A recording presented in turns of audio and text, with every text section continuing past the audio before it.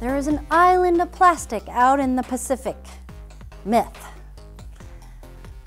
I've spoken to a, a, research scientist who has been out on the Pacific Gyre where this uh, mythical island is said to exist. And in fact, there is a higher abundance of material in the Pacific Gyre, things that float in the ocean. There's more of it out there, that is true. And some of that is plastic. But they told me when they were out there in that Pacific Gyre and they looked out, they could not tell by looking out into the ocean that they were in the Pacific Gyre and that they were in this so-called island of plastic.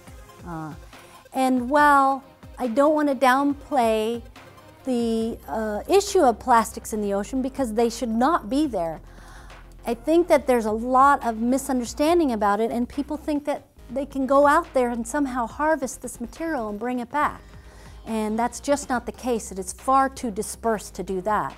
Um, Scripps Institution of Oceanography did a research study recently to start studying this, and that's very important. We need to know what are the impacts of this material on the environment in the ocean. And there's a lot of research to learn that, but there is no island.